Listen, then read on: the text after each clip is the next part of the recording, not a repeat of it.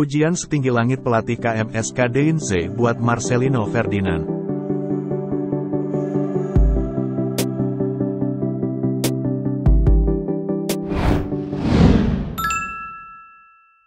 Pelatih KMS Kadeinze, Mark Grosjean, melayangkan pujian kepada kepada pemain Indonesia, Marcelino Ferdinand.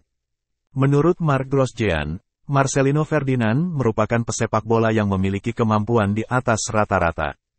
Ia optimistis kedatangan pemain timnas Indonesia itu dan rekrutan lainnya bisa membantu KMS KDNZ terhindar dari degradasi.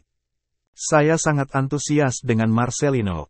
Dia memiliki kualitas di atas rata-rata, kata Mark Grosjean dikutip dari Headlats News.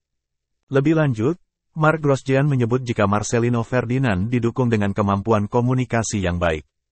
Ia meyakini kemampuan komunikasi itu dapat membuat eks Persebaya itu semakin berkembang di Eropa. Berbekal itu pula, Marcelino Ferdinand tidak kesulitan beradaptasi selama berada di KMS KDINC. Mark Grosjean lantas membandingkan Marcelino Ferdinand dengan rekrutan anyar Asia lainnya, Yuta Miyamoto. Menurut dia, kemampuan berbahasa gelandang asal Jepang itu tidak sebagus Marcelino. Akan tetapi, Yuta Miyamoto juga memiliki kelebihan lain yang bisa bermanfaat bagi KMS KDINC. Adapun Marcelino Ferdinand baru saja mencatatkan debutnya bersama KMS Kadeinze pada Sabtu, tanggal 25 Februari tahun 2023, malam WIB. Marcelino Ferdinand bermain sebagai pemain pengganti saat timnya menjamu Jonggeng. Laga itu merupakan pertandingan pertama playoff degradasi kompetisi Divisi 2 Liga Belgia atau Kalenger Pro League tahun 2022 sampai tahun 2023. Dalam duel yang berlangsung di Stadion Burgermeister van de Wiele, Marcelino Ferdinand masuk pada menit ke-80. Mantan pemain Persebaya Surabaya itu menggantikan Jelet Van Lansot.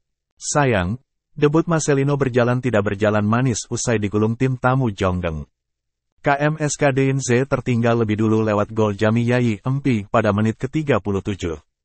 Menit ke-74, KMS KDNZ mampu menyamakan kedudukan melalui Dylan de Belder.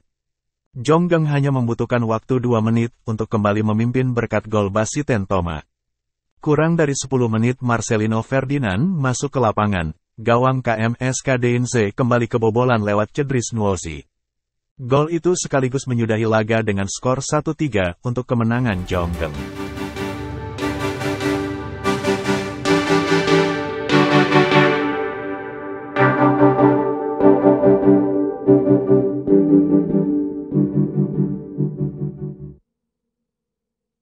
Terima kasih sudah nonton.